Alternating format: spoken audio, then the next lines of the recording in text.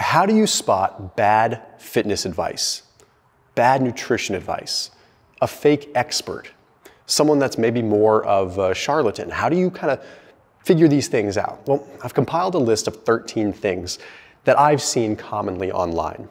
That way you can look for these patterns.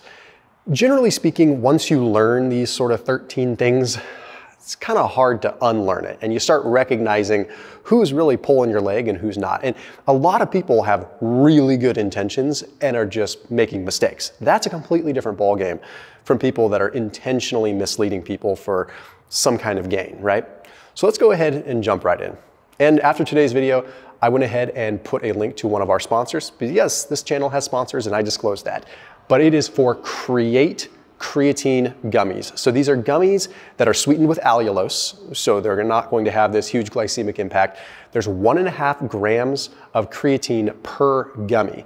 So you can take one gummy, you can take two gummies, you can sort of microdose your creatine and get you to the right level where you want to be, and therefore minimize some of the water retention that might come with it.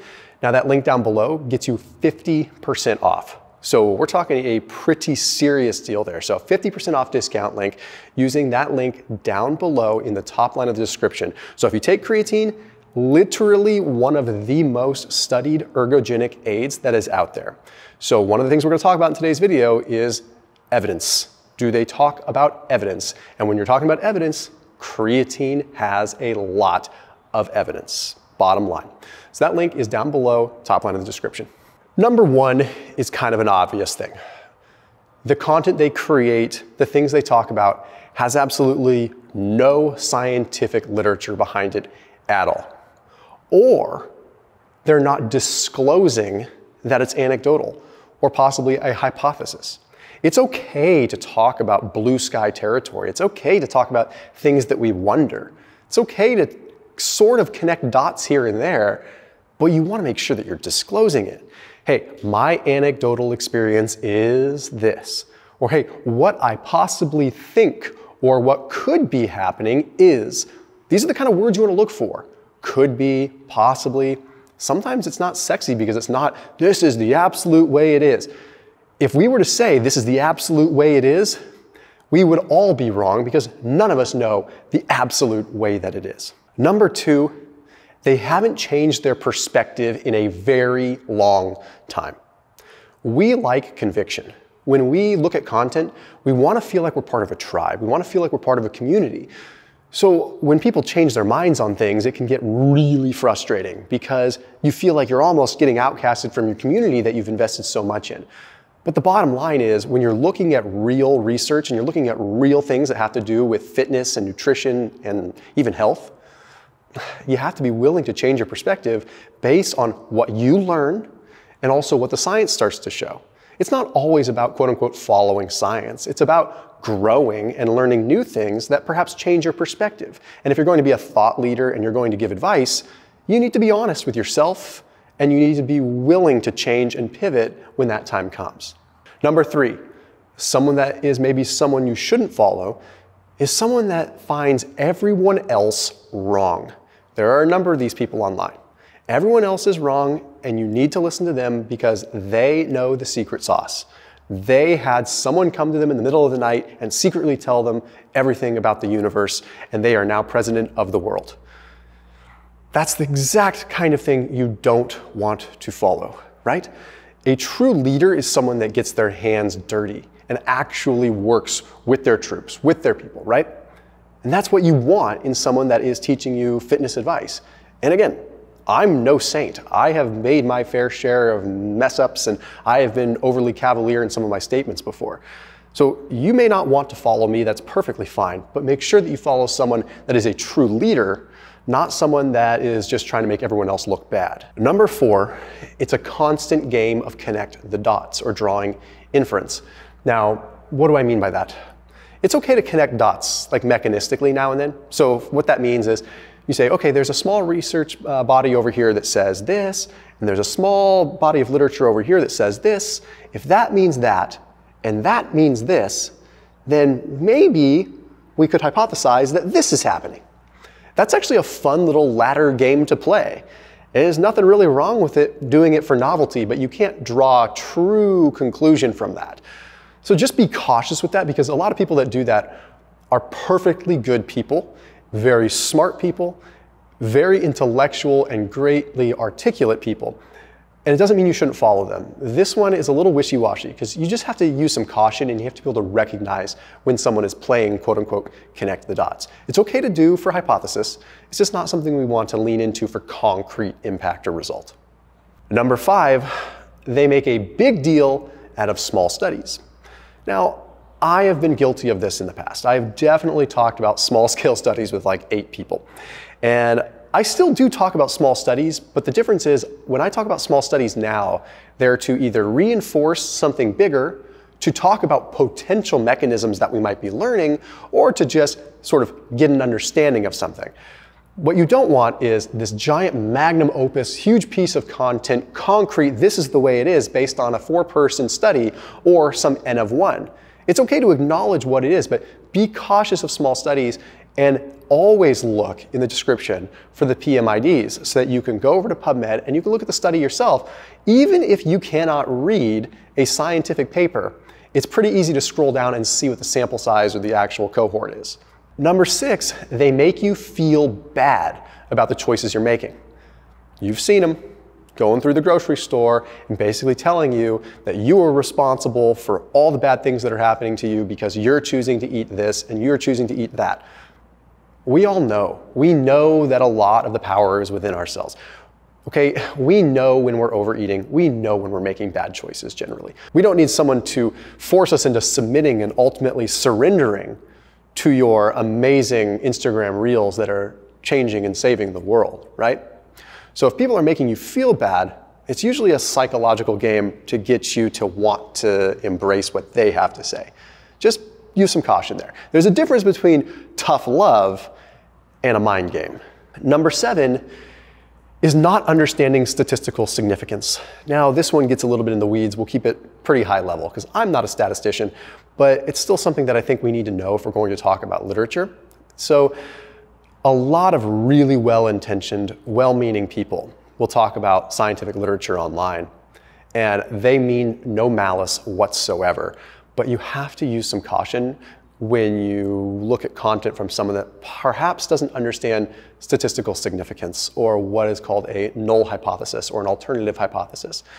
Because statistical significance is really just measuring the probability of a null hypothesis or ultimately the status quo or zero effect. What, it, what that basically means is something can be statistically significant and actually not be that crazy of a result. It's just statistically significant. So it's just the probability of something different from a zero outcome or baseline. And I know that sounds complex, and that's kind of my point. I don't even fully understand the statistics. That's not my world of expertise, but I've looked at enough papers now and I've consulted with enough statisticians to understand truly like what the null hypothesis is and what a good study is and what a bad study is. So just make sure that you know that they know what they're talking about by reviewing a lot of their content. Number eight is a quick one. If they tell you cardio doesn't matter, they're probably a green snake in green grass. Because cardio does matter. And any responsible person will also tell you that if you resistance train properly and fast, you can get a cardiovascular workout from that as well. So to tell you that cardio doesn't matter, that is just completely denying bodies of literature that are so hard to ignore. It's clear that there's an agenda there. Number nine is these fitness people that don't acknowledge non exercise activity thermogenesis. Kind of a funny story. Uh, you guys know Greg Doucette on YouTube. Um, Greg and I go way back. We've had our beefs, we get along just fine. But I had posted something on Instagram that talked about how moving more and eating less may not be the answer long term for weight loss. And I had a reason for saying that. And he commented, he's like, if that's not what it is, then tell me what it is. Because we know Greg is very big on calories in, calories out. So I said, oh, great. Okay, I triggered Greg, but he doesn't know my context here. So I actually sent him a message and we talked about it and he completely gets it. What I was talking about is it oftentimes is better to eat a larger amount of food so that you have more energy to move more throughout the day to ultimately wind up in more of a deficit. A lot of people say, oh, I'm just gonna not eat the brownie instead of doing cardio. Not that brownie would be my choice, but I would actually rather eat the brownie and do cardio because metabolically, that's actually better. I would rather have more fuel coming in and more fuel going out because overall, I'm ending up in a deficit either way, but non exercise activity thermogenesis and moving outside of my cardio just by having more energy. My point in saying this is people that don't acknowledge how much you move throughout the day or your non exercise thermogenesis, they're not looking at the whole picture because it is not simply in an echo chamber of cardio and just an isolated world of like what we eat and what's in a calorie tracker. There's more to it than that. Number 10, if they seem like they're seeking an extreme or they're outlandish, it's because they probably are. For entertainment value, people like extremes, so it's easy content to watch.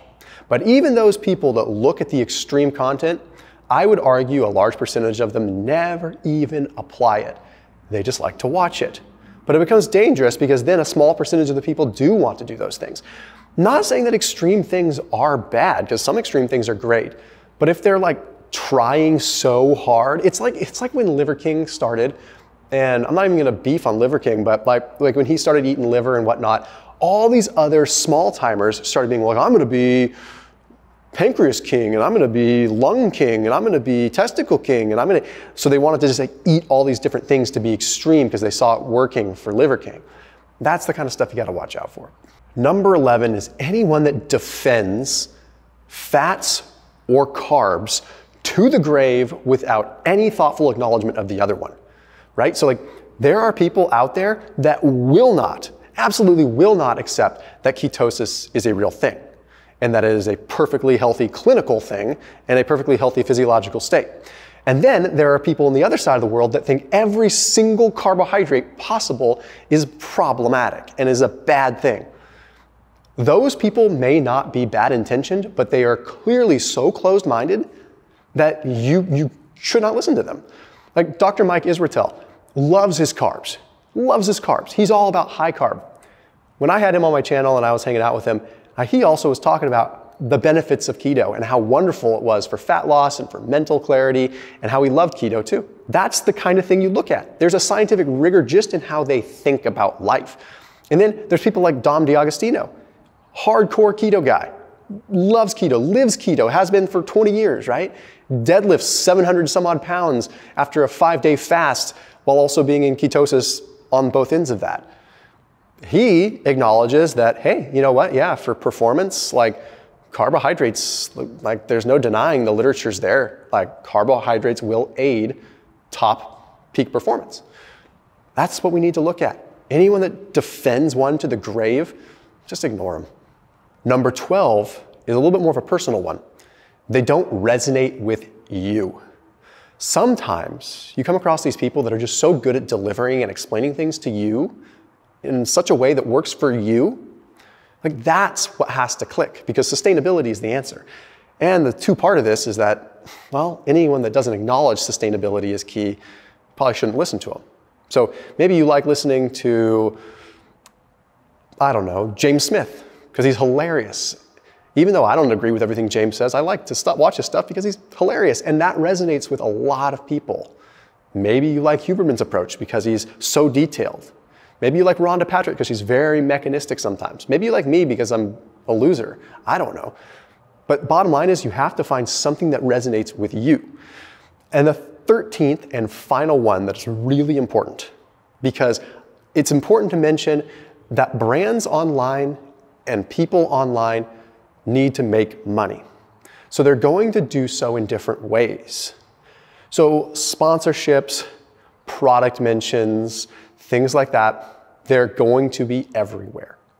What you need to look for is look for people that disclose it because that's how you know they're just being real. There's no shame in me having sponsors on my videos because I'll be authentic about it, I'll be real about it, and I'll let you know that there's a value exchange and I'll let you know that I'm being compensated to talk about a product that I like, and you can skip through it or not. But then you have people where the net impression of a video is by the product. Where you're like, you've watched the whole video and you're like, I got nothing out of this video except for the fact that if I don't buy this product, I'm going to die. That's exactly what you have to look for. The other thing is look for people that actually disclose FTC, FDA disclaimers and disclose these things. Because those are the ones that are actually following it by the book and are probably going to be around for a long time because they're not flying under the radar doing something shady. As always, keep it locked in here on my channel. I'll see you tomorrow.